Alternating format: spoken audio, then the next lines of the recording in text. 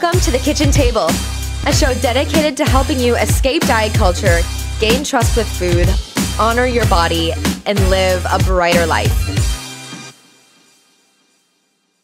Hello, hello, and welcome back to the Kitchen Table. I'm your host, Alicia Brown, and on today's episode, I have a robust Q&A lined up for you today. Really excited for this question answer episode. Thank you to all those who submitted questions on my question box on Instagram. You can expect Q&A episodes at the top of every month. That is the first Monday of every month here on the show. Um, and so look for that question box at the top of every month as well. And if you have a question that you want to submit earlier, maybe there's something coming to mind in the moment, shoot me a DM on Instagram. I'm at aliciabrown.rdn. aliciabrown.rdn on Instagram. You can send me a message there and I will cover it in the next coming month's Q&A episode. But without further ado, I'm going to get right into the first question because I have so many great questions that I want to roll through. And I know that these questions are questions that you either have had or currently have about intuitive eating. You know what? We talk a lot about like moving from the weight loss paradigm to the intuitive eating paradigm, right? And I talk about that like it's easy, but it's it's not. We actually have a lot of values that are attached to that weight loss paradigm. Maybe you've grown up with weight loss as a goal, you know, like for yourself, or maybe it was like one of your parents or like an influence in your life that has told you that like weight loss is something that's valued. We place a value around weight loss, our society places value around weight loss.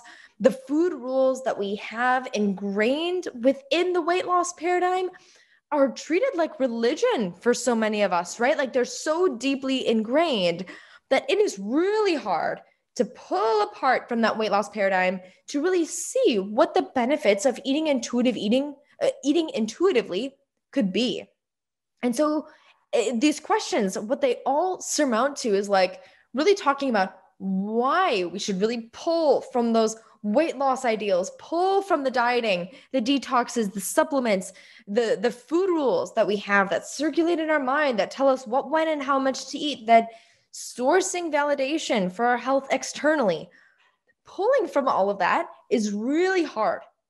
And that causes a lot of trepidation when we talk about jumping into intuitive eating, because it is true that intuitive eating opposes a lot of the weight loss paradigm. The intuitive eating paradigm almost completely opposes the weight loss paradigm. And that is why it's called truly the anti diet approach. And so that's why your questions are so valuable because they actually unpack the nitty gritties of what it takes to pull away from the weight loss paradigm to really see what intuitive eating has to offer. Okay, so let's get into the first question.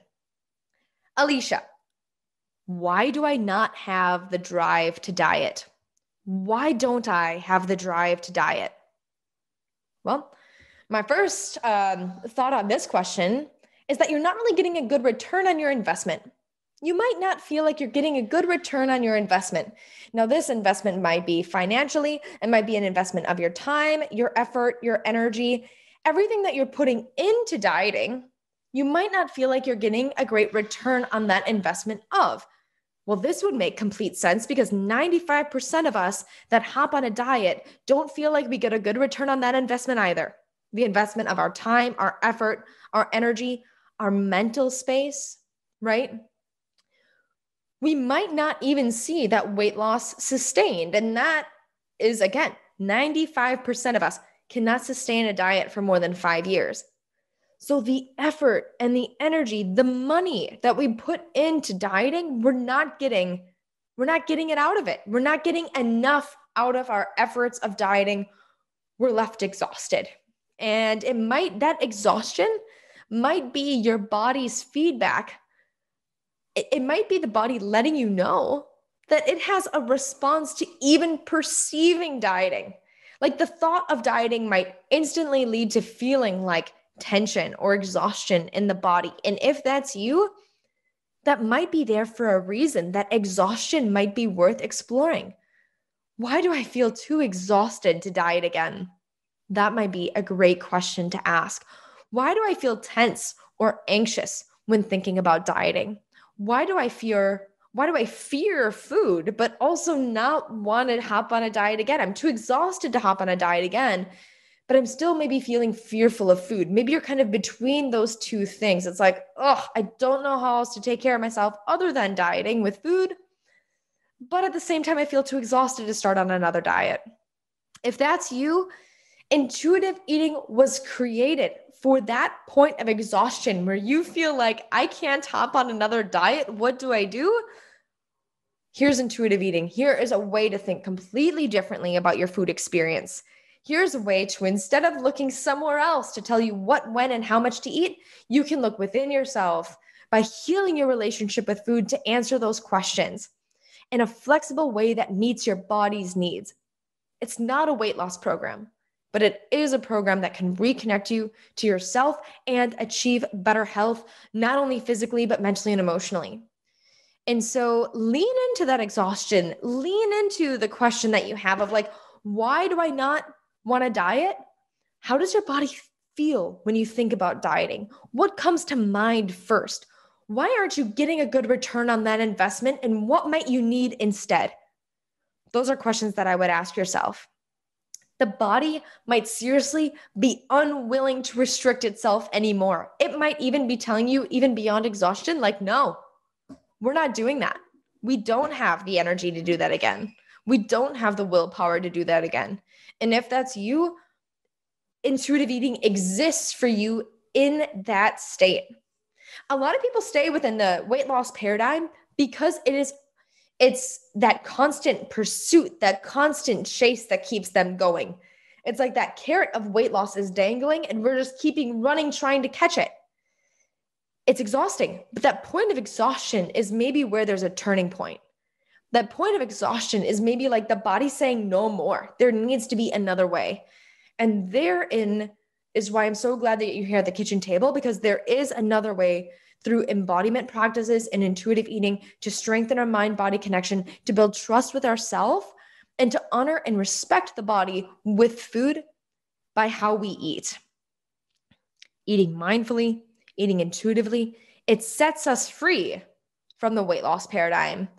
And you won't have the drive to diet again after eating intuitively because you'll find such trust within yourself that you won't need to rely on another set of rules to guide how to guide how you eat again. Thank you so much for that question. I think that that can be a great turning point for you if you decide to kind of dig deeper into your own question. Journal about this. Why don't you have the drive to diet? Why don't you want to hop on a diet again? How does your body respond to even thinking about dieting again? Journal on those questions for a minute again because you might not want to let go you might not want to invest in the way that you did in diets before. Anyway, great question. Thank you. And let me know where that lands with you. Um, yeah, thank you. Um, next question intermittent fasting. Ooh, okay. I just did an episode on um, Gwyneth Paltrow's intuitive fasting. Um, I just saw my friend Claire Tuning, another anti diet dietitian. She was saying in her stories that when she types in intuitive on her phone, it automatically comes up with fasting as the next word. Do you know how sometimes, like, you know, I don't know if you Apple or Android phone, whatever, you know, you type it in and it predicts the next word that comes after? If you type it intuitive, she said that fasting comes after. I did not try this, but does this happen for you when you type in intuitive on your phone? Because I think that's crazy. Gwyneth Paltrow's in our phones talking about intuitive fasting. If you're curious on my thoughts on her book, flip back a couple of weeks in episodes. I did a whole episode on how I thought about her truly hijacking the term intuitive and turning it into a diet. I'm not a fan of it. Okay. I'm not a fan of it, but I explain why in that episode. But we're not talking about intuitive fasting. We're talking about intermittent fasting right now. The question is Does it contribute to disordered eating? What are its long term benefits and drawbacks? Okay, yes, I feel like intuitive. yeah, now I say intuitive. Yes, I feel like intermittent fasting is a diet. One thing though that's unique about intermittent fasting, it it doesn't tell you what to eat. It only tells you when to eat. But when a diet tells you when to eat, there is a rigidity there that causes black and white thinking. it causes good or bad beliefs. So with intermittent fasting, with intermittent fasting, there are only like eating windows that you can eat within. So say that like your eating window was like from noon to seven. If you were hungry anytime out of that eating window, it would be seen to be not abiding by the intermittent fasting protocol. Now, that's what's really challenging is because you might get body cues that tell you, yes, now it's time to eat. And it might be nine o'clock at night. Say that you just went like bowling with your friends. You had dinner before bowling, then you went bowling with your friends, and then all of a sudden you're hungry again. But because you're intermittent fasting, now you can't have a snack before bed. That can lead to disordered eating because your body is giving you cues that you are not able to honor through this framework, through the intermittent, intermittent fasting framework. It's not flexible enough. It's too rigid.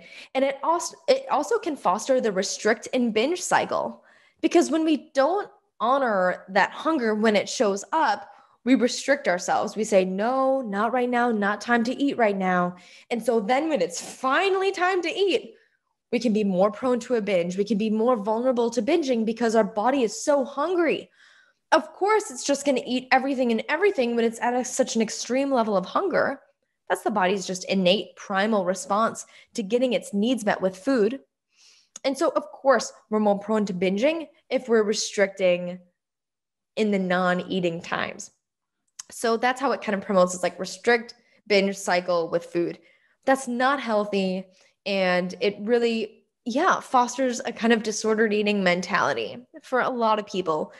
And lastly, um, oh, another note that I had on this is that it's not flexible enough. Like, say that you like went on a trip somewhere, and I know I'm talking about like bowling and trips like covid doesn't exist but just pretend with me okay? Like say that you had to you know take a flight somewhere and your flight schedule is off or you weren't able to get food during the eating window but um but you were hungry and so you needed to eat without the you know outside of the eating window would you allow yourself? Would you be bad for eating when your body was hungry if the answer to that is yes, then we are in disordered eating. This is a disordered eating framework. Sometimes, like practically, it's just not possible to abide by these rules and honor your hunger at the same time. And so, because of that, it is a diet and it can foster disordered eating and it can foster binging because sometimes when we're out of that window and we are just hungry, we might just say, like, you know, screw it. I'm gonna eat all of it. I'm gonna eat all of it because I am not following the rules. And so, what do the rules matter anyway? I'm also not going to attune to my body with hunger or fullness now. And so, again, more vulnerable to rebelling, more vulnerable to binging because it's not flexible enough to meet our needs. Too rigid, fosters right and wrong mentality. And two more things. You know, the truth is that there's not enough research to substantiate long term benefits of intermittent fasting, not in regards to blood sugar, not in regards to total health. Especially, yes, Gwyneth Paltrow would disagree with me on this, but especially not in, you know, healing your relationship with food or becoming more intuitive at some point. Like that's baloney, that's bogus. Um, and so there's not enough research, not enough evidence backed by human studies. Now, there's mostly like totally only animal studies that are talking about blood sugar, that are talking about like, um, I guess, you know, mostly it, I guess mostly blood sugar. There was another study though that I saw on rats. What was it? Oh, weight. About weight, normal, uh, um, weight loss. No, not enough research. Not enough research. Any research that's done that's partially substantiated is done with rats. And to me, that's not good enough research. Okay. There's not enough research to substantiate hopping on intermittent fasting. And we know, like, when we have this mindset about like how it skews our relationship with food, it's clear to see that it's totally not serving. Because when we really care about having a healed relationship with food, we believe that the relationship can be flexible to meet our body's needs when they show up, whenever they show up. That's why intuitive eating believes that you can determine yourself what, when, and how much to eat and as far as like a routine goes like i see that like in, in uh, intermittent fasting like believes in a routine with eating and i like routine trust yourself that when you eat intuitively, your body will find its own routine. Your body will begin to understand when it will get fed. You'll understand your body cues more. You'll be able to predict your predict your hunger better and be able to honor that hunger better. And therefore, honor your fullness better as well because you've established that body trust. Your body knows it'll get fed. You feed the body, it moves on. It doesn't feel like it has to eat in excess because it's worried about being deprived. There's a balance there. And that is the beautiful balance. Your body will discover its own routine. You don't need the routine established by intermittent fasting. I hope that answers your question. Not enough on long term benefits, too many draw- drawbacks, impacts our relationship with food, and I think contributes to disordered eating, especially in the restrict binge cycle with food. Cool. Next question. I want to quit dieting and shut out diet culture, but all the doubts pop up. Yeah, I want to dieting and quit diet culture. I want to quit dieting and diet culture, but all the doubts pop up. I hear this. I know it's hard to detach from all the things that we learned from a nutrition standpoint, that we've learned maybe from our parents in our upbringing when it comes to weight loss and health. So much of that is ingrained in the dieting mentality. So much of what we've learned since we were young, or especially me, like in my teenage years, maybe the same for you too. So much of that is, is within the weight loss paradigm. It's really difficult to detach from all of those beliefs. Of course, the doubts come up. But what if I gain weight? But what if I'm unhealthy?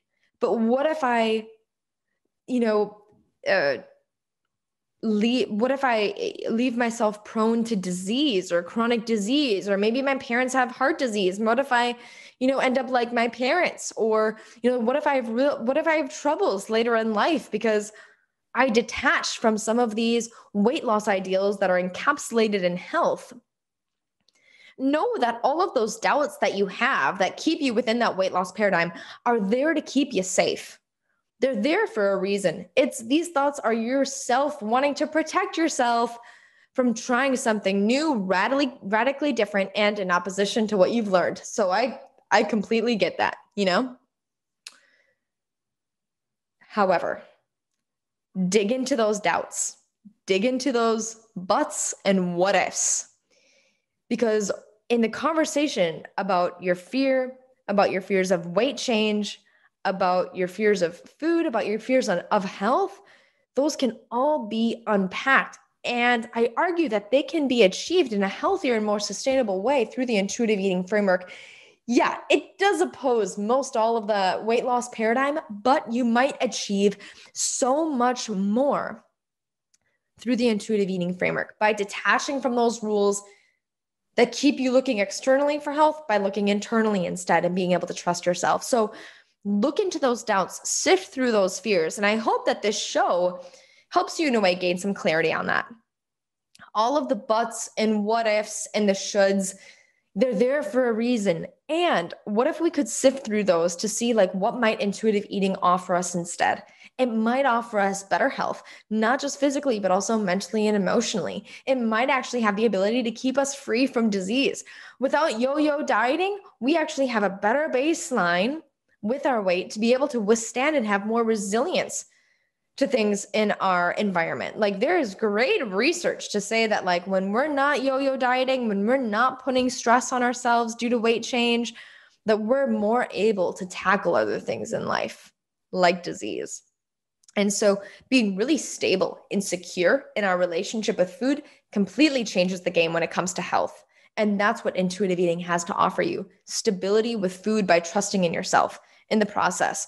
And so, yes, all of the shoulds are like, oh my gosh, but what if I don't follow this rule anymore? What if I do this? What if I gain weight? Sift through those things and ask more questions here on the show. We'll unpack them and we'll be able to see what intuitive eating might have to offer instead of being in that exhausting cycle. Thank you so much for submitting that question. Next question.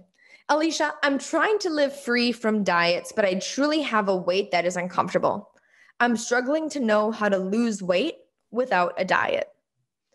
Well, there are so many people in this position. I empathize. I know that weight loss is a desire for so many of us, even those that feel like they have a healed relationship with food and body. There still might be some residual desire to diet, and that's okay. Again, it's like ingrained in our minds that thinner is better, thinner is healthier, smaller is better or healthier. And I get that. I empathize with that. I empathize with that desire.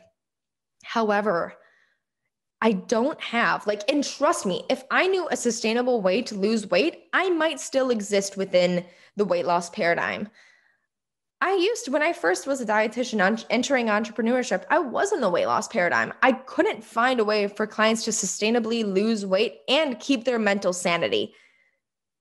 I found the insanity of weight loss too much to bear. And that's why I'm in the intuitive eating framework right now. The reason why I bring that up is because I don't know a way for you to sustainably lose weight. And I definitely don't know a way for you to sustainably lose weight without the expense or toll it takes on your mental health. And I care about your mental health, your physical health, and your emotional health. I care about you as a whole integrated human being. And so I can't recommend weight loss for that reason. But I do understand also that it can feel uncomfortable being in a larger body. It can feel uncomfortable being in the body that you're in. And so I, I want to address that in a non diet way because I do understand the desire for weight loss. And I understand that there's a discomfort here that needs to be addressed.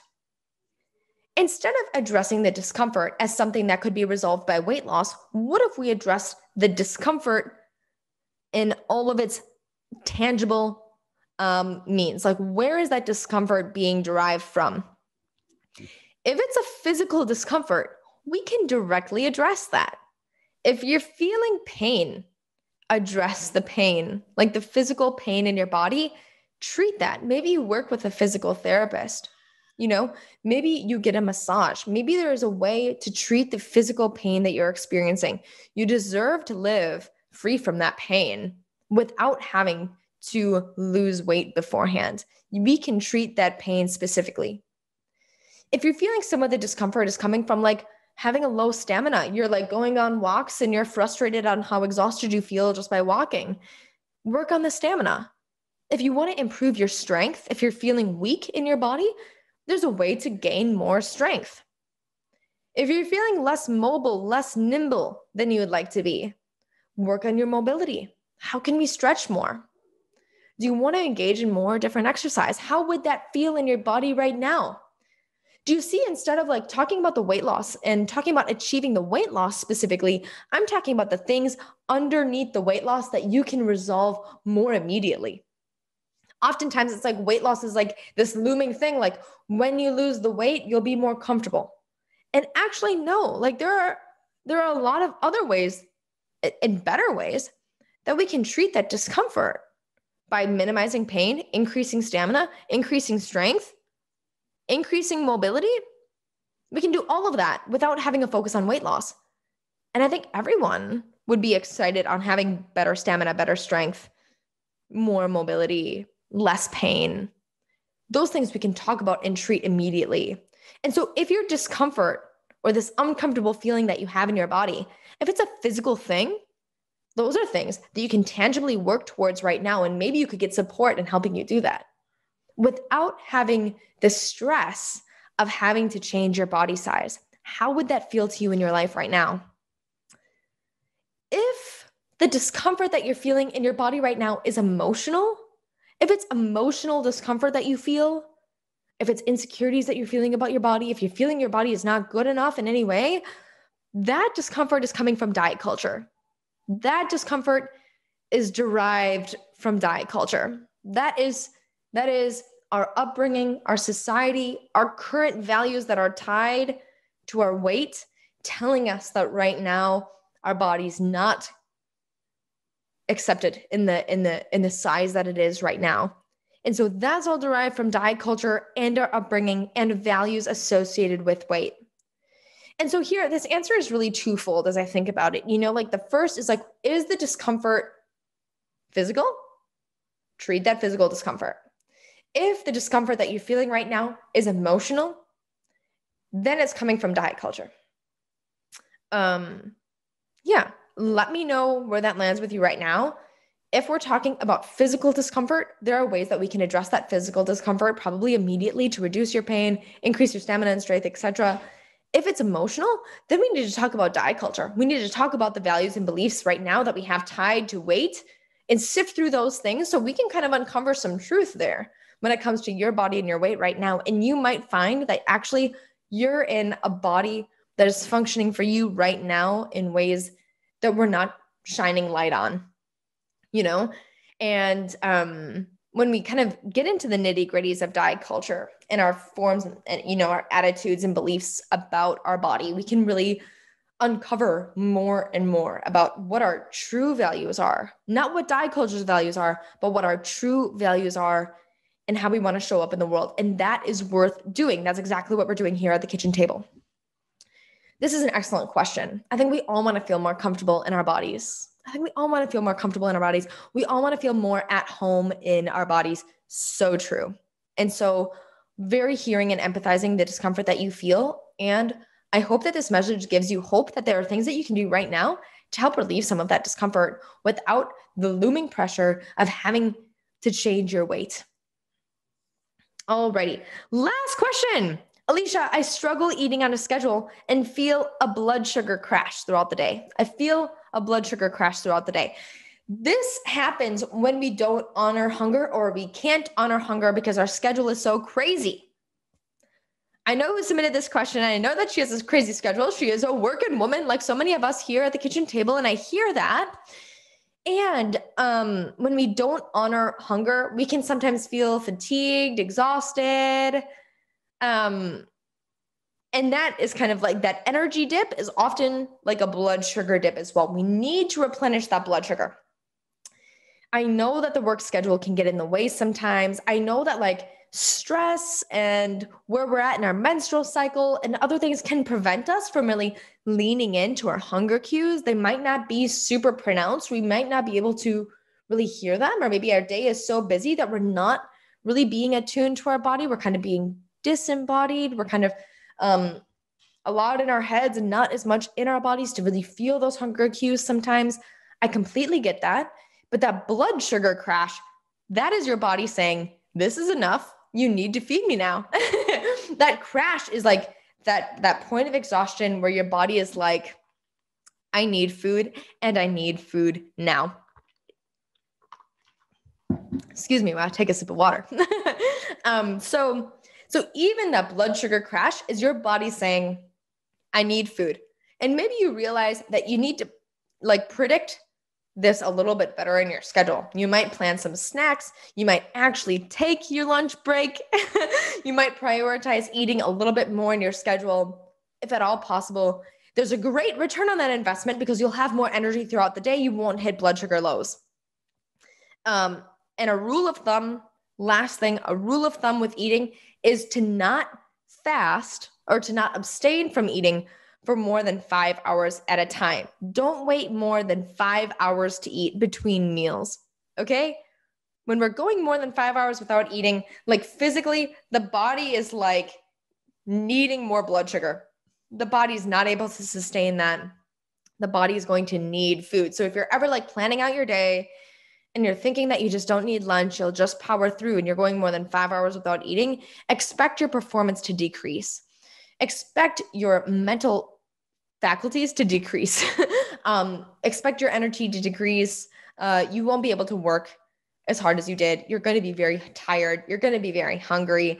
And that's a really uncomfortable place to be in. And so don't go more than five hours without eating. Uh, take that as a rule, if you will, but it serves your body in a way um, because you don't want that blood sugar low. Um, and last thing, I keep saying last thing, but seriously, um, attune to your body. You know, take breaks, take breaks, take some deep breaths. Ask your body how it's feeling, what it might be needing. Ask yourself when is the last time you ate? When is the last, the next time that you'll get to eat? And then you might find yourself um, maybe predicting more of when you can eat and eat enough. Yeah, totally. And eat enough. Uh, eat when you're hungry and eat enough. That is like a huge part of this intuitive eating game. I hope that this was serving to you. This was such a fun episode. Thank you so much for tuning in. Thank you again for these excellent, excellent questions. I hope this served you. If somebody else that you know in your circle is either in the dieting paradigm right now or they're curious to learn more about in um, I was going to say intermittent fasting. Oh my gosh. If someone you know is in the weight loss paradigm, but they're curious to know like what intuitive eating is, send them this episode. This got a lot of questions answered about intuitive eating. Um, so send them this episode. And while you have your phone out, hit subscribe so you don't miss an episode every Monday and Thursday here at the kitchen table. Q&As, top of the month. Every other Monday is monologues with me. Every Thursday are interviews with high esteemed guests. I have the greatest guests coming on the show. You don't want to miss an episode. So hit that subscribe button and leave a review if you have a minute. I would so appreciate that. Anyway, have a great, great rest of your Monday, and I look forward to talking soon.